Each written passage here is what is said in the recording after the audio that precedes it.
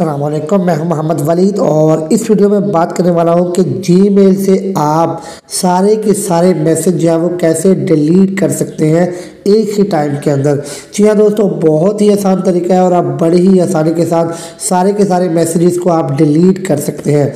क्या है तरीका? आइए जान लेते हैं। सबसे पहले आपने करना क्या है कि आपने अपने जीमेल ऐप को ओपन कर लेना है। अब यहाँ पर देखिए जैसे ही मैंने ओपन किया तो यहाँ पर आ, मेरा जीमेल अकाउंट जो है वो शो हो जाएगा।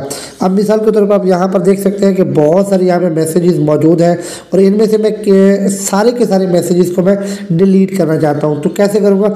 सबसे पहले आपने करना क्या कि आपने किसी भी एक मैसेज को दबा के सेलेक्ट कर लेना है। अब यहाँ पर सेलेक्ट कर लिया, उसके बाद आपने यहाँ पर सेलेक्ट ऑल पर क्लिक करना है। अब जैसे ही आप सेलेक्ट ऑल पर क्लिक करेंगे तो आप देखेंगे कि पचास जो मैसेज हैं, वो सेलेक्ट सेलेक्ट हो गए हैं। लेकिन बाकी सेलेक्ट नहीं हुए।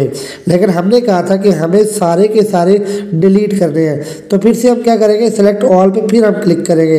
अब हमने जैसे क्लिक किया तो यहाँ पर देख सकते हैं कि हंड्रेड अब जो है वो मैसेज जो है वो अब सेलेक्ट हो गए ठीक है? लेकिन अभी भी हम नीचे देखेंगे तो अभी भी हमारे पास जो है वो सारे के सारे सेलेक्ट नहीं हुए फिर से हम सेलेक्ट ऑल पे क्लिक करेंगे तो इस तरह से जो है वो आप यहाँ पे देखें, फिर हमारे पास जो है वो मैसेज सेलेक्ट हो गया सेलेक्ट ऑल पे फिर क्लिक करेंगे। तो इस तरह से जो है वो आपने क्या करना है, आपने सेलेक्ट ऑल पे बार बार जो है वो क्लिक करते जाना है। तो यहाँ पर आप देखिए, अब जो है वो एक यानी मेरे पास टोटल मैसेज थे, वो एक थे और सारे के सारे जो है वो सेलेक्ट हो गए हैं। अब मैंने क्या करना है, यहाँ पर मैं डिलीट के ऑप्शन पर क्लिक करूँगा तो ये सारे के सारे मैसेज जो है वो डिलीट हो जाएँगे। तो उम्मीद है दोस्तों आपको ये बात समझ आ गई होगी कि किस तरह से आप तमाम के तमाम मैसेजेस को आप एक ही टाइम के अंदर जो है वो डिलीट कर सकते हैं जी से। तो अगर आपको ये वीडियो अच्छी लगे तो वीडियो को लाइक लाजमी कीजिएगा। मैं हूँ मोहम्मद वलीद, आपसे ज़्यादा चाहता हूँ। अल्लाह हाफिज़।